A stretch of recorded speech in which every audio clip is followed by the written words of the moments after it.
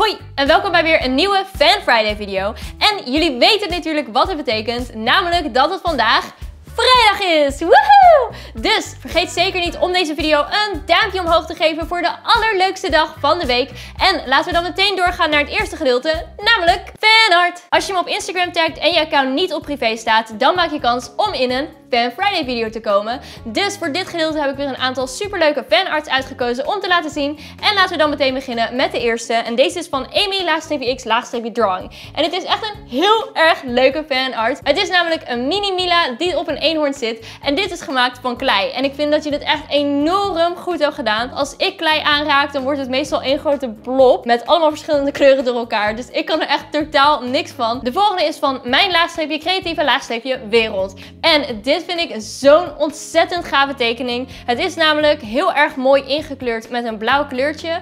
En ik zit op een eenhoorn, net zoals de vorige fanart. Ik word uitgezwaaid door minions. En ik vind dat je het echt heel erg goed hebt gedaan. Super mooi getekend met schaduwen en belichting en dat soort dingen. YouTube verslaafd laagstreepje tekenaartje. Poeh, dat is een hele bond vol. Heeft een hele gave tekening gemaakt van een eenhoorn die op een picknickkleedje zit. En de eenhoorn is een beetje groot. Volgens mij heeft hij een beetje veel gegeten. En die zit naast Hyder. Hyder is mijn kat. En onder de fanart heeft ze gezegd, ja, mensen denken natuurlijk dat Hyder nu in Texas is. Maar stiekem zit ze eigenlijk met eenhoorns in een magisch land te picknicken. Met een hele gave regenboogachtergrond. Ik hoop dat Hyder daar stiekem ook inderdaad echt zit. De volgende fanart is van meisje laagstreepje Jamila, laagstreepje fan, laagstreepje account, laagstreepje, laagstreepje heeft een super leuke foto nagemaakt. Het is een wat oudere video van mij waarin ik bloemen uitprobeer. Ja, dat klinkt een beetje raar. Als je hem nog niet hebt gezien, bekijk hem zeker. Wat zij heeft gedaan is, ze heeft die thumbnail nagemaakt. Dus ze heeft ook een geel bloemetje erbij gepakt. En dan gewoon zo in haar mond gedaan. En ik vind het gewoon een heel origineel idee. En super leuk dat ze dat heeft nagemaakt. Daarna hebben we een fanart van Lindaatje X. En dit is echt een super schattige tekening van een mini meisje Jamila. Met echt een hele grappige, leuke, vrolijke regenboog outfit aan. Ze heeft dus zeg maar een eenhoornhelm op. Maar de eenhoornhelm is veel te groot. En ik vind het gewoon echt oh, om bij weg te smelten. Want hij is super leuk en super vrolijk. Daarna heb ik er eentje van K3.fanclub. En die heeft een verzameling gemaakt van allemaal verschillende soorten thumbnails. Met een hele leuke rand eromheen. En daartussenin allerlei superleuke pixel art. Van bijvoorbeeld Nyancat en een donut en een eenhoorn. En daarbij mijn naam erop gezet en een hartje. En ik vind het allemaal echt zo ontzettend leuk. En ik kan hier uren naar blijven kijken. Omdat er gewoon zo ontzettend veel op te zien is. Mini laagstreepje Milaatje heeft een hele mooie tekening gemaakt. Ik weet niet waarmee ze het heeft getekend. Maar het lijkt een beetje alsof ze het met stift heeft gemaakt. Van mij met slippers aan op een eenhoorn. En de eenhoorn is gemaakt van regenboogkleuren. Dus Helemaal goed, toch? Daarna heb ik nog een fanart van Jamila Fan. Uh, dat is een makkelijke naam. Hehe, eindelijk. Het bovenste plaatje is een foto van mij waarin ik dit gezicht maak. En erbij staat, wanneer iemand vraagt, hou je van donuts? Hm? En de onderste foto is een plaatje van mijn Instagram waarin ik een donutkussen op mijn hoofd heb gezet. En ik maak echt zo'n gezicht van... En de tekst die erbij hoort is... Uh, ja. Met andere woorden, natuurlijk hou ik van donuts. Wat een domme vraag. En deze fanart omschrijft dat echt helemaal perfect. Jamila laagstreepje squad heeft echt een super schattige tekening gemaakt. Van een heel klein cartoon meisje met super lang bruin haar. En ze houdt zo'n fluffy unicorn vast. Heel erg mooi getekend. En gewoon... Ik wil echt helemaal gaan knijpen in deze tekening. Zo schattig is die. Daarna heb ik er eentje van Love, laagstreepje Anubis, laagstreepje Forever. En dit is echt een hele gave tekening. Het is namelijk nagetekend van de foto die ik op Instagram heb geplaatst. Waarin ik een uh, Snapchat doggy filter op heb. En ik vind dat het echt heel erg goed heb gedaan. En super mooi heb getekend. Mijn haar is wel iets lichter in de tekening. Maar ik vind het juist heel erg gaaf. Want stiekem wil ik zelf ook wel iets lichter bruin haar hebben. Gewoon om het een keertje uit te proberen. En dan heb ik hier een fanart van Meisje Jamila X love. En dit vind ik echt geweldig. Het is dus een foto waarin ik zo uh, doe. En daarbij heeft ze mijn bloemetjes shirt veranderd in een shirt waarin er allemaal verschillende heiderkoppen op staan. Op mijn hoofd als een haarband heb ik ook heiderkoppen. En ik zeg heider en er zit heider tekst helemaal op de achtergrond. Ik heb zo ontzettend moeten lachen toen ik dit voor het eerst zag. Ik weet niet hoe je dit bedenkt, maar ik vind het geniaal. En als laatste heb ik er eentje van X Fan Drawings. En deze is mega mega schattig. Het is echt een heel klein, super lief, pastelkleurig baby eenhoorntje op een veldje. En ik word er super vrolijk van. Dus ik wil je daar heel erg voor bedanken. En iedereen bedankt die een fanart heeft gemaakt deze week. Of je nou wel of niet in de Fan Friday video bent gekomen, maakt niet uit. Ik vind ze echt super gaaf om allemaal te bekijken. En super lastig om te kiezen. Laten we dan nu doorgaan naar het volgende gedeelte, namelijk food test. Mm. Ik was laatst onderweg en ik kreeg een beetje trek. Dus ik ging naar een tankstation om te kijken of er wat lekker was om te eten. En daar zag ik allerlei verschillende soorten dingetjes die ik nog nooit eerder had geprobeerd. En ik vind het gewoon zo grappig om te bedenken dat je dit dus bij een tankstation kunt eten. Dus het leek me heel erg leuk om hier een video over te maken. Hiermee wil ik niet zeggen dat je dit alleen maar bij een tankstation kunt kopen. Want je kunt het waarschijnlijk ook gewoon in de supermarkt vinden. Maar ik wil het toch gewoon uitproberen. Dus laten we beginnen met het eerste dingetje. Namelijk dit. Dit is van Wasa en het is een kaas, tomaat en basilicum sandwich. Alleen het rare is, is dat een sandwich meestal gemaakt is van brood. Maar hier is het dus gemaakt van crackers. Woe! Oh, oh, oh nee. Hè?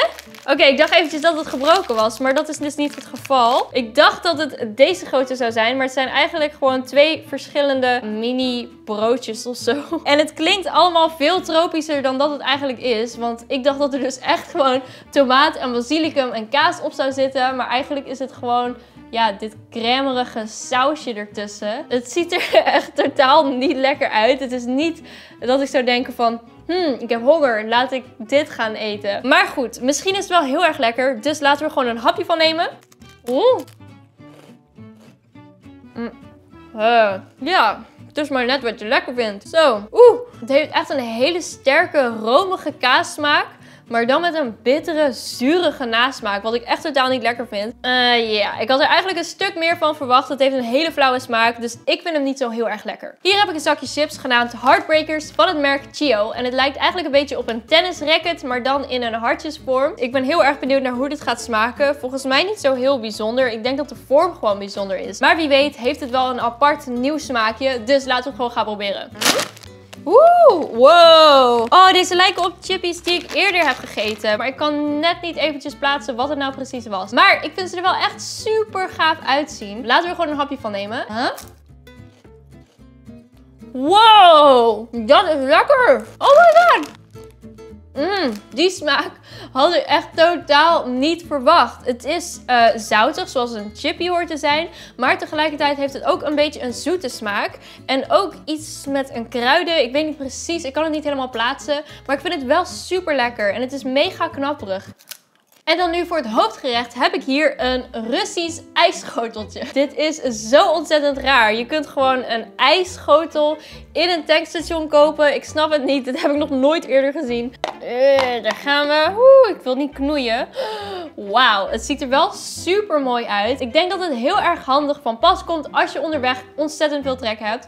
Maar goed, laten we even kijken wat erop zit. Ik weet dat er in ieder geval geen vlees op zit. Maar er zitten hier dus twee plakjes eieren op. Daaronder mayonaise volgens mij. Ik denk dat die balletjes hieronder aardappelen zijn. En verder hebben we stukjes worteltjes en stukjes agurk. Het ruikt ontzettend erg naar eiersalade. Misschien is dat het ook wel. Ik heb eigenlijk geen idee, want het is dus een Russisch schoteltje. Ik pak dit uh, super kleine lepeltje erbij en dan ga ik hiermee proberen te eten. Ik ga er zoveel mogelijk op proberen te doen. Een beetje worteltjes, een klein beetje augurken, een beetje mayonaise en een beetje van dit gestampte aardappel-eieren gedoe. Here we go. Huh?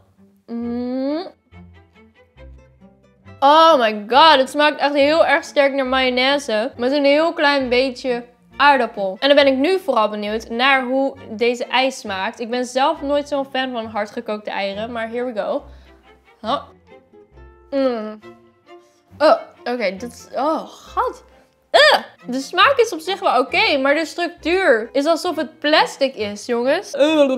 Oké, Um, wat vind ik hiervan? Apart. Half duimpje. Dan heb ik hier een rode bietensalade met walnoten en moer bij bessen. Geen idee wat voor bessen dat nou in vredesnaam zijn. Maar zo ziet het er in ieder geval uit. Het ziet er echt ontzettend lekker uit. Ik hou zo ontzettend veel van bietjes. Dus ik maak de verpakking open. Yay!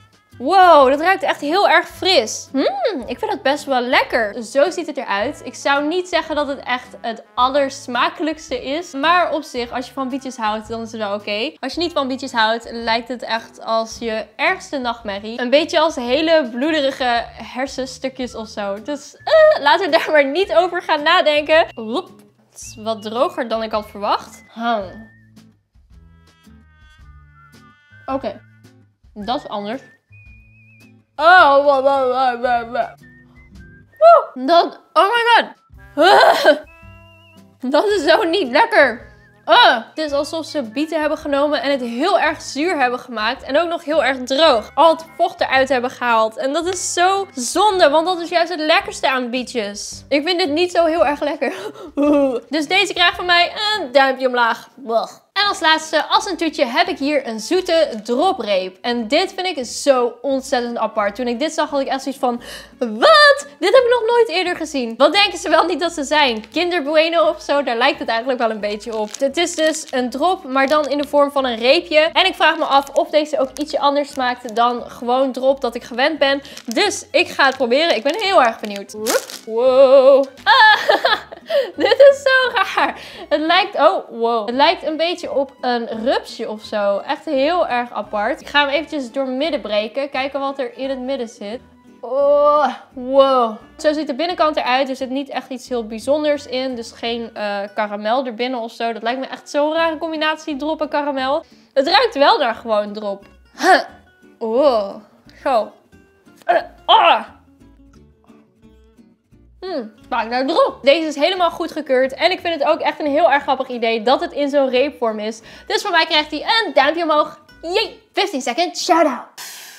Kim, Joyce, KL, Sarah, Shania, Brit, Bianca, Inda, Perry, Sandra, Shaya, Zoe, Maya, Megan, Melissa, Josephine, Maddie, Melanie, Naya, Emily, Fleur, Jojo, Robin, Chantal, Yara, Lara, Mariska, Amber, Maaike, Mout en... Hanne. Als je deze video leuk vond, vergeet dan zeker niet om het een duimpje omhoog te geven. En de vraag van vandaag is, wat voor eten haal jij meestal bij een tankstation? Voor mij zijn mijn go-to snacks pinda M&M's en Kinder Bueno's. Maar ik ben heel erg benieuwd naar jouw antwoord. Dus laat het me zeker eventjes weten in de reacties onder deze video. En dan zie ik je in de volgende video. Doeg!